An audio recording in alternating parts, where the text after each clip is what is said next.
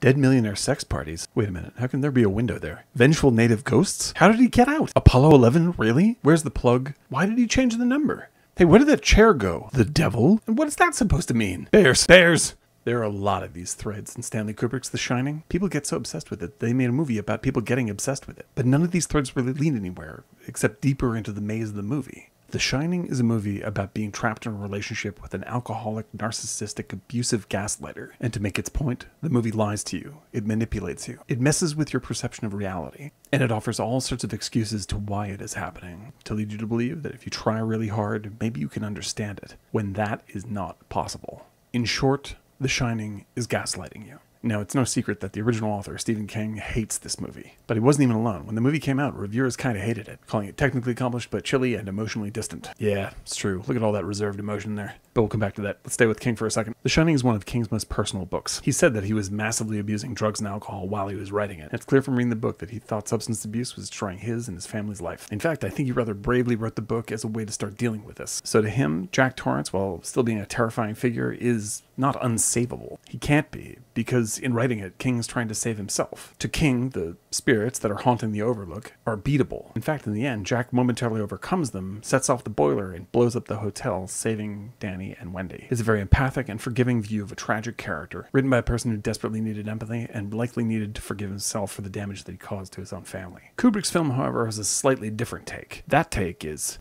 this guy. So it's no wonder why King hates the film. King wants to find a way to love Jack, while Kubrick wants us to laugh at him when he dies. Further, King saw Wendy of the movie as a misogynistic interpretation. He had written Wendy to be heroic, in the same way that I'm sure that he felt his wife was heroic in saving him and his family from the pain that he had brought them. So it's understandable that he was offended when he saw Kubrick's version, where Wendy is represented as a meek and broken person. So why did Kubrick make this massive change? The big key to me comes in the casting. Kubrick is particularly great at casting actors, because he didn't just think about whether they play the role well, he thought about what the audience thought of the actor before the movie even starts, like casting sex symbol Ryan O'Neal as Barry Lyndon and putting him up against some of the best English actors of the time.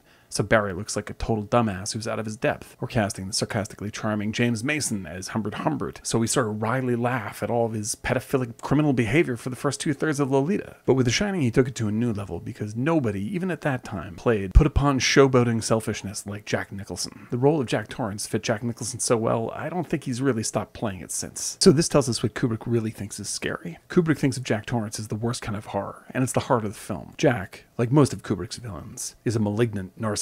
See also Jack D. Ripper, Claire Quilty, General Paul Mireau, Alex DeLarge, and most tellingly, HAL 9000. Kubrick didn't see people like Jack as human. He saw them as self-involved murderous robots. Meanwhile, for Wendy, instead of casting someone who's perceived as strong, like Jill Clayburgh or Julie Christie, he casts the minimally physical, slight voiced Shelley Duvall. So from the first frame, she looks like she's going to be crushed just by Jack's ego. Now, for a long time, there's been a story that Kubrick basically tortured Duvall into giving this performance. And I'm as guilty of pushing that story as anybody. But after I became more familiar with her work, like Robert Altman's Popeye, Three Women, in Nashville, in which she is fantastic, I started to get a little suspicious of this rumor. And in a Hollywood Reporter interview, Duvall went a long way to debunking this as well, saying that well, Kubrick had that streak in him, they considered each other equal creative partners, and she's really proud of the film. So now I look back and I think, man, it's a little bit weird that we bought into this idea that the only way a woman could give this performance was by being terrified into it instead of, you know, just being a really goddamn good actor. And that brings me back to the initial reception of the movie. It's easy to give Jack Nicholson credit for his performance in The Shining because it's scary, but it's super entertaining. Jack Torrance is a showstopper. He's a big, crazy, quotable, good time of a bad guy. But in 1980, it was much harder for us to credit Shelley Duvall. Not only did a lot of critics call her out as being silly, she was even nominated for a Razzie, like next to Olivia Newton-John and Xanadu. No offense to Miss Newton-John, your music is awesome, but nobody should ever have to watch that movie. King himself said that this version of Wendy reduced the character to being a kind of screaming dish rag.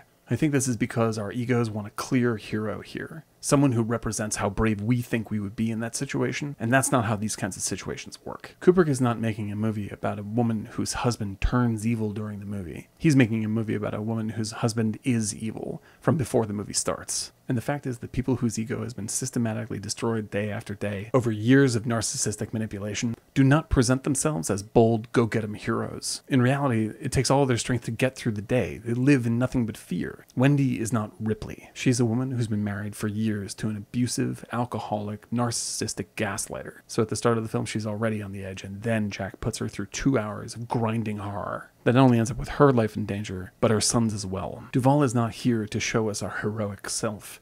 She's here to hold up a mirror. If you look at it that way, I think you'll agree with me that this is one of the greatest performances ever put to film. Up there with Gene Hackman in The Conversation or Maria Falconetti in The Passion of Joan of Arc. Because it doesn't simply represent us, it challenges us. And I don't just mean this for the raw emotions that she has to keep up for months worth of shooting. I mean, look at her in this scene. As the Death by Toys company pointed out with its awesome shining tie in, Wendy's cigarette ash. This is a scene about a person who is trying so hard to pretend that her life is fine that she can't even move or it'll fall apart. She's trying to pretend that her child is not massively mentally scarred and exhibiting all sorts of behavior that indicates sustained abuse. She knows that Danny's in terrible danger even as she's describing and excusing the fact that Jack has already broken Danny's arm in a drunken rage. And why would she protect Jack? She's not protecting Jack, she's protecting Danny. She doesn't want Jack to be set off again to do even more damage. Wendy is someone whose love of her child and fear of her husband has trapped her into a codependent spiral of denial and violence. The picture starts, and Jack has already pulled Wendy and Danny into his narcissistic maze of lies, pity, excuses, and emotional terrorism, and we haven't even gotten to the damn hotel yet. That sounds like a horror movie. This is not a bad performance. This is a film defining performance. So, why do people laugh at it? Because it's the only way to protect ourselves from it. Because it so honestly represents a kind of real life horror that we don't want to admit that we could fall prey to.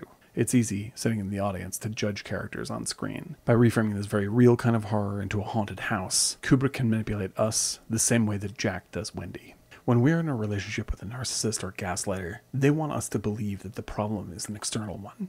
It isn't them, it's some outside force. And if we can only solve that, you'll be safe from all the horror. Wendy, it's the alcohol, it's not me. So the codependent deal we make with them sounds something like this As long as there's no alcohol, Danny is safe. Don't worry, Wendy. There are rules. Wendy, I'm never going to touch another drop. And if I do, you can leave me. The film makes the same bargain with us. We are scared, and we don't want to be scared.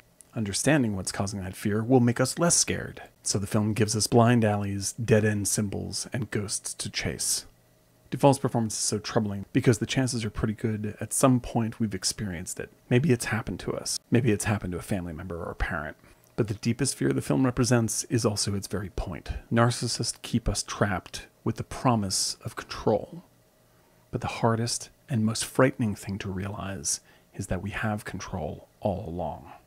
We can leave, but leaving is terrifying, and in some cases, it can be life threatening. If you ask anyone who's been in this situation, this is when the danger becomes real. Once we break a deal with the narcissist, the problem that must be solved in the relationship is no longer an external force. The problem is us. And there's no way to know whether we or our loved ones will make it out unhurt. That's the trap. This is the horror that has to be faced. And this is what The Shining simulates for us. In the end, Kubrick's hard advice is give up the dead ends, give up the excuses, give up the lies, and give up the ghosts. Because it's all a trap to keep you there. Whether you're in a toxic relationship or a haunted house, there's only one thing to do get the fuck out.